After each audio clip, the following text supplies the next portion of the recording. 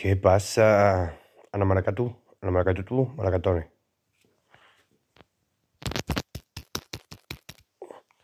¿Qué tal, gente? ¿Cómo estáis? Espero que estéis llevando el fin de semana lo mejor posible. Ayer viernes, ¿qué? ¿Alguien salió mm, de fiesta? ¿Alguna de las de aquí se emborrachó? ¿A quién hay que castigar? Confiesen. ¿A quién hay que castigar? Vídeo de Antonia. Seguimos con el Ramadán. Como no, este mes hay que explotar Ramadán a tope. Este mes seremos más musulmanes que nadie. ¿A qué sí, Antonia? ¿Cómo no? Empieza el vídeo con grabando a las niñas cuando se van al colegio, ¿no? Qué manía de, de sobreexposición, ¿eh? Para mantenerse en su línea y empezamos el vídeo sobreexponiendo a las niñas.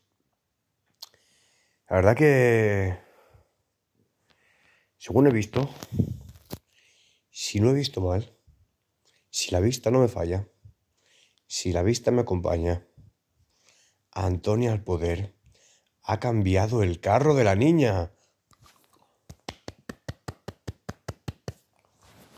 Un aplauso para esa Antonia, que ya era hora de cambiar el carrito. Creo, ¿eh? Creo. Igual que es que ya tiene tanta mierda que ha cambiado de color. No lo sé. Esperemos que sí, porque si es así, ya era hora, hija mía. Pero qué pena, qué pena que tenga que empezar todos los vídeos, sea desayunando o yéndose para el colegio, que tenga que empezar todos los vídeos ya exponiendo a las niñas, ¿eh? Es impresionante. Mira que de las demás personas que hablamos de sobreexposición se suelen cortar un poquito más, no dedican todo el canal a grabar a las niñas, pero es que esta señora de las que hablamos es la que más sobreexpone, sobreexpone a sus hijas a un nivel impresionante. Todos los días tiene que estar grabando, y es que encima todos los días tiene que estar grabando a las dos pequeñas porque sabe que son las que más venden. Y que esto no les remueva nada por dentro, ¿eh? que sea capaz de irse a la cama cada día y que se vaya a dormir pensando, bueno, hoy he sacado a las niñas muy bien, el vídeo ha triunfado mucho porque las niñas han salido muy graciosas. Es increíble la sobreexposición que hace esta señora, la verdad que es increíble. Yo con esta señora no me voy a cansar nunca hasta que deje de hacer lo que tiene que dejar de hacer, porque es impresionante. Es que si os dais cuenta, cuando las está grabando para irse al colegio, incluso pone la cámara, el móvil de la cámara, no, la cámara del móvil. Pone la cámara del móvil. Me río por el error, ¿eh? no por lo que hace, porque lo que hace es vergonzoso. Pone la cámara del móvil en la cara de la niña pequeña y empieza a hacerle preguntas que seguramente que ya le ha hecho en privado, pero claro, tiene que hacérselas eh, para el vídeo, para el canal, para que quede bien, para que el canal quede muy mono, para que sus seguidoras vean cómo esa niña sale en primera plana respondiendo a las preguntas que le hace. Y le dice, buenos días, ¿cómo estás? ¿Vas a cole? ¿Vas al cole? Todo para, para la galería, ¿eh? Esta señora le da absolutamente igual los buenos días, le da igual cómo esté la niña, le da igual si no va al cole o no va al cole, más ella encantada de quitarse el estorbo que se ha quitado de encima Solo le pregunta eso y solo le dice eso cara a la galería. Yo creo que es que no tiene ningún tipo de afecto por nadie, simplemente todo lo hace cara a la galería, todo por y para el canal. Esto es impresionante y que todavía hay gente hoy en día que no entiende esto. ¿Cómo hay que explicaros las cosas para que entendáis que la sobreexposición que hace, que todo lo que hace con esas niñas es a cambio de dinero en el canal? Es que la enfoca la niña de cerca, enfoca esa carita, que esa carita debería quedar en privado para su familia y no para miles de personas en un canal, y se le pone a hacerle preguntas para que lo escuchen sus seguidoras, para que las seguidoras después le vayan a escribir y le pongan comentarios del tipo, uy, qué mona la niña, uy, qué guapa, no sé qué es lo que quiere ella, porque sabe qué es lo que piden, qué es lo que exigen y ella lo da porque sabe que es lo, lo que más le va a, a crear ingresos. Es que ella lo sabe y como lo sabe, se aprovecha. Es que es así. Y bueno, se van las niñas para el colegio y nos enseña la cocina. Madre mía. Esa cocina, ¿eh? Yo no sé vosotras, llaneras, llaneros, escuderas, escuderos. Puede que no todo el mundo sea así. Pero mira que yo no soy la persona más limpia del mundo, ¿eh? Que para algunas cosas soy un poquito hippie, ¿eh? Pero es que a mí se me hace imposible irme a la cama sin haber fregado los cacharros. Se me hace imposible. No soy capaz. No soy capaz de irme a la cama pensando que tengo, la, que tengo toda la cocina empantanada. Es que no soy capaz. No sé si me ocurre a mí nada más, os ocurre también a vosotras, pero a mí se me hace imposible. Es que no puedo echarme en, a ver si un día has tenido una fiesta del copón y tienes que limpiar ahí 24 millones, pero los cacharros, a mí se me hace imposible dejar los cacharros en la fregadera e irme a dormir sabiendo que están ahí. Es que no puedo. No puedo. Y es que como tenía la cocina, ¿eh? Es impresionante. Yo no sé cómo se puede una persona a dormir y dejar la cocina así. encima sabes que si lo limpias antes de irte a dormir, ya no tienes que hacerlo por la mañana cuando te levantes. Porque luego se queja de que no tiene tiempo para editar, de que no tiene tiempo para no sé qué, que también os digo, para hacer un arroz con huevo tampoco te hace falta tener muchas horas, ¿eh? Pero que luego se queja de que no le da tiempo de hacer nada, no le da tiempo de editar, coño. Deja las cosas que tienes que hacer por la noche, como fregar los cacharros de la cena, déjalo fregado y así eso no tienes que hacerlo por la mañana, es que es tiempo que te ahorras, es que hay que pensar un poquito, eh. En fin. Y deja la comida hecha para las niñas. Arroz con bogavante, como le llama ella, eh. La verdad que es impresionante la de veces que esta gente hace arroz con huevos. Eh. Yo no sé si es que es la comida favorita de esta gente o qué, pero es que el menú arroz con huevos se repite ahí de una forma impresionante, que sí. Llanero, eres un cotilla, que es claro, viva el marujeo. Si es lo que hay. Si ellas hacen su vida pública, pues nosotros estamos con todo el derecho del mundo de poder hablar de la gente que hace la vida pública todo el derecho. Y si no quieren, y si no les gusta, o no os gusta a vosotras, sus seguidoras, las que dais aquí la cara por ella, pues que no hagan su vida pública. Si no quieren que yo comente que ha hecho de comer un arroz con huevo, pues que no lo saquen el vídeo. Pero es que tienen una obsesión con arroz con huevo. No, pero es que mayor, mayor que la obsesión de hacer arroz con huevo, mayor que la obsesión esa, es la obsesión que tiene con llamar arroz con bogavante al arroz con huevo. Tiene una obsesión con tener que sentirse mejor siempre. No sé qué pasa, si es que esta gente ha tenido en su vida falta de afecto, o es que de pequeño no tenían nada y ahora lo tienen absolutamente todo, pero ¿qué necesidad hay de llamar arroz con bogavante al arroz con huevo? O el arroz a la, cubana, que el arroz a la cubana le falta el plátano frito, sí pero de toda la vida. El arroz con huevo se le ha llamado arroz a la cubana. Y está riquísimo, a mí me encanta, está cojonudo. Es un plato de la hostia. Y ella empeñada en arroz con huevo llamarle arroz con bogavante para sentirse mejor. A ver qué necesidad, ¿eh? Yo no lo entiendo, la verdad. Es que son cositas, son detalles que reflejan las personalidades de, de esta gente. En fin, y vuelven las niñas del colegio y como no, tiene que volver a grabar cómo llegan del colegio. Y como no, se pone a hacer el simo, la, la, la simpatía, la simpatía, la chivaquía, bueno, eso. Se pone a hacer eso de lo que lleva hablando ya varios días. Que madre mía, con la chubaqui, con la chubaca, con la, con la chubaca Vamos a tener toda la semana con la chubacaquía esta. Vamos a tener toda la semana con ello. ¿eh? ¿Cuántas veces habrá repetido esa palabra en esta semana? Eh? Impresionante. Pues ahí tenemos a Simo haciendo ahí la chivacuigua esta con las niñas, como no, ¿eh? que quede eso bien ahí enfocadito, que queden ahí bien sobreexpuestas las niñas haciendo la chivaquía con el papito.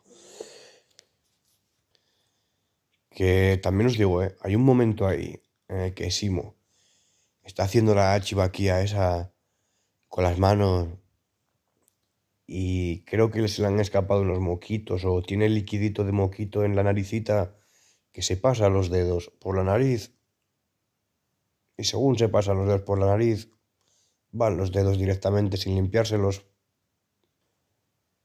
para la chivaquía. Claro que sí, Simo. Ole tú, más sustancia. Más ricos estarán después. Claro que sí. Y claro, grabando esta escena de, de los hijos, bueno, de las hijas pequeñas con el padre haciendo la chivaquía, esta, empieza a decir Antonia que le gusta grabar ese momento porque será un momento que sus hijos vean el día de, de, mañana y recuerden esto, no sé. No te preocupes, Antonia, que esto lo van a recordar toda la vida. Que el día que vayan al instituto a la universidad o empiecen el trabajo y todo el mundo conozca sus miedos, sus inseguridades, su privacidad, lo que les gusta, lo que no les gusta, todo el mundo las conozca, le hagan bullying en el instituto o en la universidad, reciban mensajes acosantes de pedos por tú haberles grabado toda la infancia, no te preocupes, que recordar lo van a recordar. Si tú quieres que sea algo que ellas recuerden cuando sea mayor, pues hagamos como antes, como se hacían las cosas antes, grabar los momentos con nuestros hijos, pero quedárnoslos en privado, quedárnoslos para nosotros, para el día de mañana verlos con eh, la gente justa, la familia o mejores amigos, pero en casita, poniéndolo en el, en el VHS, en el DVD hoy, para verlo en privado. Así es como se tienen que recordar las cosas de cuando somos pequeños. No subiéndolo para un canal con miles de personas. Así, claro que lo van a recordar, pero lo van a recordar mal, porque ya hay ejemplos, ya hay adolescentes y ya hay chavales quejándose de lo mal que lo han pasado, porque su privacidad en, su niñez ha sido absolutamente grabada y vendida. Y hoy en día eso les está pasando factura. Y a tus niñas, cuando sean mayores, puede ocurrirles lo mismo. Pero claro, estos son cosas, estas son situaciones, estos son datos que parece ser que a ti te da realmente igual. Porque tú solo piensas en lo que vas a ganar con los vídeos, solo piensas en el dinero, tienes tanta obsesión con el dinero que eres capaz de vender a tu propia madre por cuatro dólares. Es impresionante. Y todavía diga que esto lo graba para que el día de mañana... ¿Qué día de mañana? Tú esto lo grabas para el día de hoy, para sacar dinero a costa de ello, para sacar dinero a costa de estar grabándolas absolutamente todo el día. Y bueno, terminan de hacer esto y resulta que se van eh, una de las niñas pequeñas se va F y se va ella. Se montan en el coche y... A mí me parece muy grave.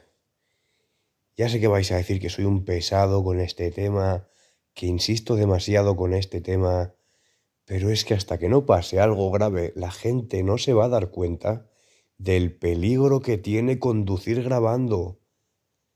Pero es que esta es peor si el otro día llamábamos la atención Aurora. Y Aurora parece ser que lo quiere corregir, que ya lo ha explicado en un vídeo, que ha sido un error y que lo quiere corregir, que no quiere grabar mientras conduce.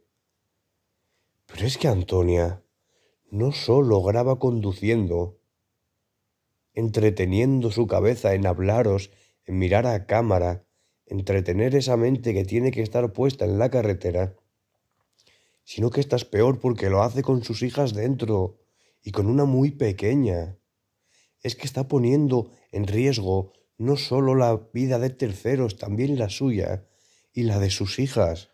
Es que es impresionante, no hay ninguna seguidora, no hay ninguna anacarda, no hay aquí ninguna amiga de la Antonia al poder, alguna seguidora, aunque sea llanera, pero que sea seguidora de la Antonia, que pueda pedirle por favor que no haga los vídeos conduciendo y menos cuando lleva niños dentro.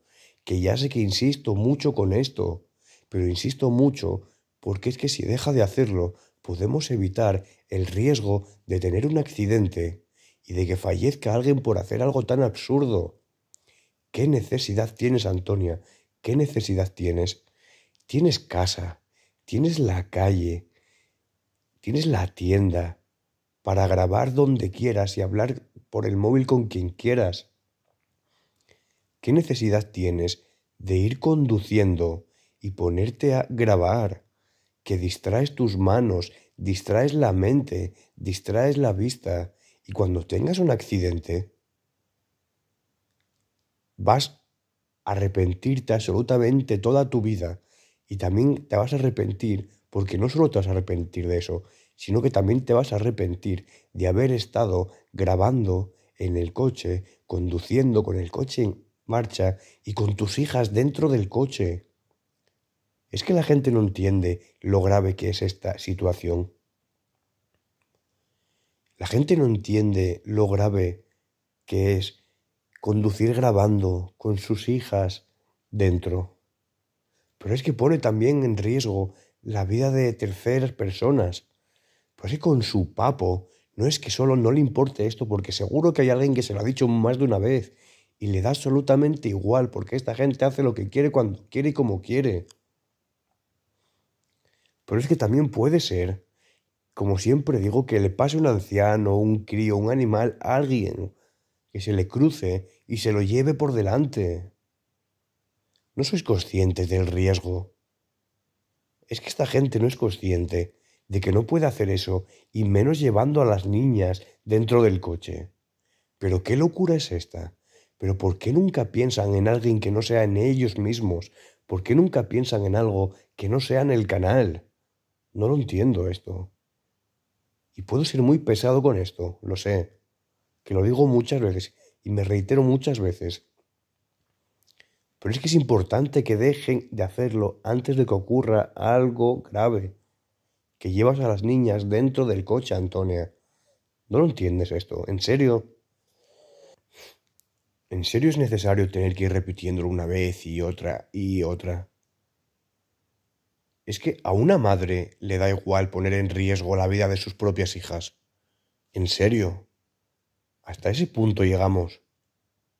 A ese nivel. A me increíble, increíble. Y bueno, estando en el coche se pone a hablar, eh, vergonzosamente, como digo, conduciendo y grabando con sus hijas dentro, lo voy a recalcar 40 millones de veces porque me parece muy fuerte, pero se pone a hablar de que, bueno, es el cumpleaños de su hija, que va a invitar a, los niños del cole, a los niños de la clase de la niña, eh, su hija F que parece ser tener más cabeza que ella, aunque sea un poquito, le dice que a buenas horas Mangas Verdes se pone a querer hacer las invitaciones cuando faltan solo tres días. Eh, dice que, que, le va a llevar a los niños al cole chucherías, tarta, no sé qué, todo dulce. Venga para allá azúcar, claro que sí, azúcar para todos. Que yo digo una cosa, de toda la vida se ha hecho esto, pero si es verdad, y esto, esto, es una anécdota, ¿eh? Esto lo cuento como marujeo, como cotilleo. No estoy regañando a nadie porque lleve dulces al, colegio, ¿eh? Pero sí es verdad que el otro día, por ejemplo, aquí en Daimiel, fue el cumpleaños del hijo de una amiga que tendrá seis o siete años. Y les obligaban a llevar sándwiches.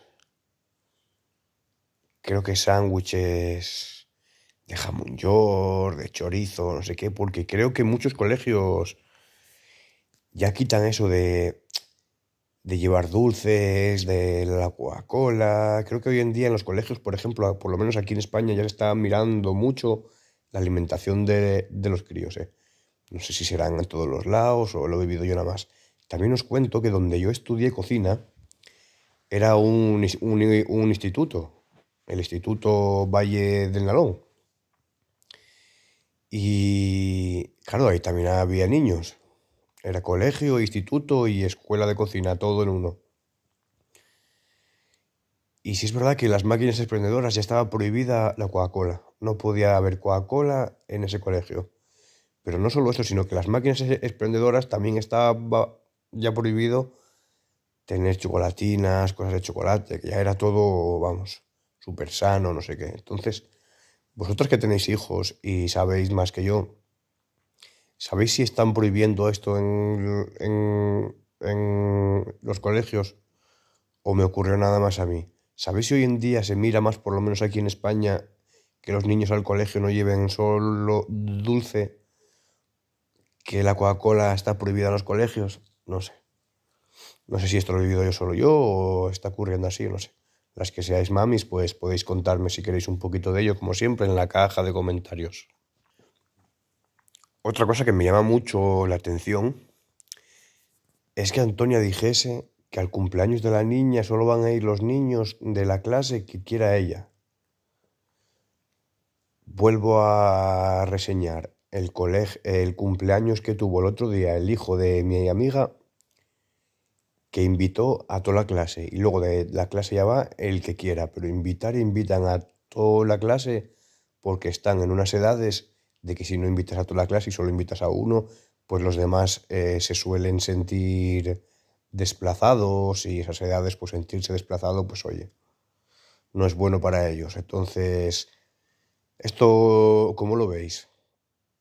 Vuelvo a repetir, las que sois mamis, cuando vuestro niño, las que tengáis un hijo de, yo qué sé, 5, 6, 7, 8 años, cuando es el cumpleaños, invitáis a toda la clase y que luego vaya el, el que quiera, o también seleccionáis con los que el niño se lleve bien. ¿Cómo lo hacéis vosotras? Y bueno, llega la noche, los críos cenan y llega Antonio. Llega a las 11 y 42, como ella nos enseña por el móvil, pero dice las 12. Ella siempre redondea para todo. ¿Que hace 127 chivaquías? Pues 150 dice. ¿Que Antonio llega a las 11 y 42? A las 12 llega que también os digo, sigo sin entender, y no me cansaré de decirlo, lo poco que se está hablando de la gran mentira que nos ha metido con el estudiar y con el trabajar, ¿eh? que ahora resulta que llega a las 12 del curro. No sé. Qué necesidad de mentir con esas cosas, la verdad. Al final, ¿qué? Estudia, trabaja, trabaja, estudia, hace las dos cosas, no hace ninguna. ¿Qué está pasando aquí? ¿qué está pasando aquí? Una cosita, una cosita que me gustaría reseñar. Cuando llega Antonio, bueno, cena, le hace su cena y eso, le pregunta cómo está la cena. Y cuando termina de cenar, esto ha sido que he levantado la pierna, ¿vale? No son los movimientos extraños que algunas se creen que, bueno, eso, cuando está con Antonio ya por la noche, que llega del curro, me imagino que los niños ya estén durmiendo, y dice Antonia, he puesto aquí, es que esto quiero que os fijéis en la escena porque me llama mucho la atención. ¿eh? A ver qué opináis vosotros de la escena esta, los que la veáis. Como siempre digo y como siempre repito, a mí el mayor favor que me podéis hacer es no ver ningún canal de estos, que para eso me sacrifico yo por vosotros. Hay un momento que Antonia dice, mira, he puesto las velas románticas. Y a Simo parece que esto no le hace ninguna gracia. Porque dice, bueno, románticas para el ramadán. Y coge las... Y, Antonia coge y se pone a hablar de la abstinencia. Porque la abstinencia, no sé qué, tal. Y va bajando, va bajando la voz y paz. Mete un corte. Yo creo que ahí ha tocado riña. Yo creo que al Simo lo de las velas románticas no le ha hecho ninguna gracia. Y ahora pregunto, y esto pregunto porque quiero saberlo yo, ¿eh? porque me gusta saber cosas de otras culturas, de otros países, etc. Respecto al ramadán, musulmanas y conversas de mi canal, grandes llaneras ellas, ¿Se puede tener relaciones sexuales durante el Ramadán o no se puede? Esa es la pregunta. Pero si veis la escena, sí me gustaría que me comentarais qué os ha parecido esa escena y por qué mete el corte ese. Si queréis como yo que a Simo le ha parecido muy mal que dijese lo de las velas románticas. ¿Cómo lo veis? Porque es que ella le dice lo de las velas románticas y dice solo para el ramadán, no sé qué, lo romántico. Y es que justo antes de meterse el corte, aunque se escucha muy bajo, si pegáis la oreja al móvil se escucha a la Antonia decir, decir, lo de la abstinencia una broma, no sé qué, y ahí justo se mete el corte. ¿Qué pensáis, generas? Dejádmelo en la caja de comentarios.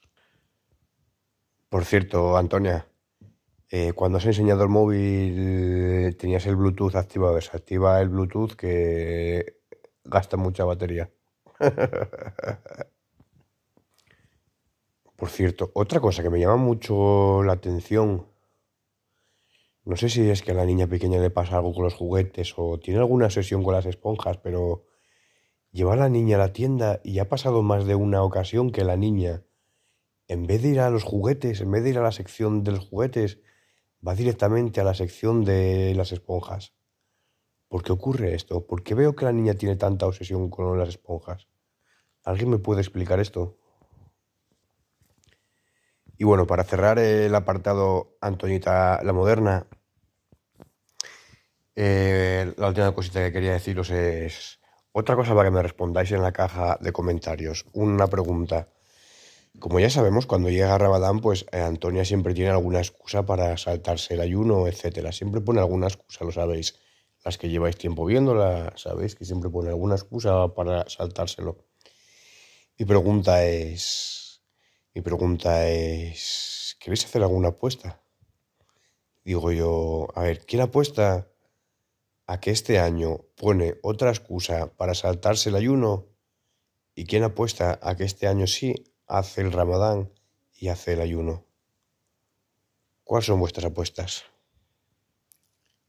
Bueno, quería comentaros una cosita de que me comentó una llanera y que dije, pues sí es verdad si es verdad, ¿no os parece mucha casualidad, llaneras, llaneros, escuderas, escuderos, mm, gente de este planeta? Piu, piu. ¿No os parece mucha casualidad que el día que hicimos el vídeo diciendo a las infelicianas que la infeliz se reía de ellas, preocupándolas, no contestando a los comentarios después de una semana, teniéndolas en ascuas, recordáis el vídeo, ¿no? En el que salía mi gatito Garfield ¿No os parece mucha casualidad que justo ese día, al poco rato de subir yo el vídeo, la infeliz subiese un comunicado tranquilizador para sus seguidoras? ¿No os parece mucha casualidad? ¿Creéis que lo hizo porque escuchó mi vídeo?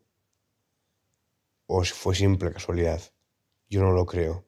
Qué gran labor hacemos en este canal, ¿eh? realmente. Que nos van haciendo caso, en verdad, todas, ¿eh? Al parecer van haciendo todos los vídeos según lo que vamos diciendo aquí. Que por otra parte lo agradezco, porque aquí sí que vamos a darle siempre buenos consejos. Aquí no somos unos palmeros que vamos a aplaudir todo lo que hagan. Aquí vamos a decirles lo que hacen mal. Y oye, si lo corrigen, bienvenido sea. Y una última cosa, esto me gustaría añadirlo porque hace un ratito que me salió al móvil. Yo a estos canales no estoy suscrito, incluso eh, cuando puedo los vídeos los veo desde el foro, que ahí suben para ver los vídeos y tal. Pero por ejemplo, los de, de Granada a Tetuán, cuando quiero verlos, tengo que verlos por el YouTube. Pero yo no sé por qué YouTube me avisa cuando esta gente sube un vídeo, igual es de tantas veces que entro, ya me avisa YouTube pero me avisa de un vídeo de, Aurora, de Granada a Tetuán, y ya me sale drama. Yo sé que aquí tengo mucha llanera o mucha escudera que ven este canal y que piensan que no es lo mismo que las otras. Estoy de acuerdo. A pesar de que esta señora hace cosas que no tiene que hacer, creo que no está al mismo nivel que las demás, que tiene sus cositas, sí pero creo que no está al nivel de las demás. Esto que voy a decir ahora es solo un cotilleo, una anécdota, algo que me ha llamado la atención. ¿Puede ser que esta señora no sea muy drama queen? Quiero decir, no tira mucho de los dramas en sus vídeos para llamar la atención y ganar visitas. Es cuando me sale el último vídeo que se llama Termino en urgencias, me ha dado la sensación de que siempre sube cositas así. Y me ha dado por mirarle el canal y es que sus últimos vídeos, atención a los títulos de sus últimos seis vídeos, ¿eh? Los títulos son 1. Termino en urgencias. 2. Sigo sin mejorar. 3. Reconozco mis fallos. 4. Denuncia a la comisaría. 5. Pierdo mi pasaporte. 6. Analítica en Marruecos. Ay, parece muy dramas, ¿eh? Que sí, que será una buena chica, lo que queráis. Esto es, un simple, es una opinión mía, un comentario mío sobre, vuelvo a repetir, alguien que hace su vida pública. Nadie tiene la misma sensación que yo de que esta señora tira muchísimo, abusa mucho del drama para su canal. Me lo podéis dejar también en la caja de comentarios. Bueno, eh, he dejado hoy, viernes por la noche, los dos vídeos del sábado grabados. ¿Por qué? Porque mañana por la mañana, desde bien temprano, voy a hacer costillas con salsa barbacoa. Voy a hacer unos costillares con salsa barbacoa de la receta original del Foster Hollywood. Así que ya haré alguna fotito y os la enseñaré. Muy rico, ¿eh? Tengo la receta del Foster Hollywood y mañana voy a hacer esas costillas. He invitado a gente a casa a comer. Así que mañana me toca cocinar, luego me tomaré una o dos, bueno, no. No sé para qué digo que me tomaré uno o dos si es lo que quiero, pero no puedo porque tengo el pecho de una forma que el lunes he puesto de límite la tos para el lunes. Si el lunes sigo igual, el lunes voy al médico, os lo juro. Porque ya deja de ser normal estar tantos días con esta tos sin ponerme malo, sin subirme la fiebre, sin sentir nada fuera de lo común. Que siga con esta tos que no me deja ni siquiera hablar, mm, va dejando de ser normal. Así que mañana, bueno, tendré comida, estaré toda la mañana haciendo las costillas, porque yo estas costillas las hago en el horno durante cuatro horas y media. ¿eh? Cuatro horas y media, señores, haciendo las costillas, pero eso sí. Luego cuando las pongo en la mesa, el hueso sale solo. La carne súper tierna. Quedan impresionantes. Es una receta impresionante. Si a alguien le interesa esta receta, si alguien ha llegado hasta aquí en el vídeo y le interesa esta receta, que me lo pregunte y os lo pongo en, en comunidad. Okidoki, gente nada más, eh, seguir disfrutando del fin de semana y como siempre digo, nos escuchamos, nos leemos, debatimos y bailamos. Chao, chao, chao, chao.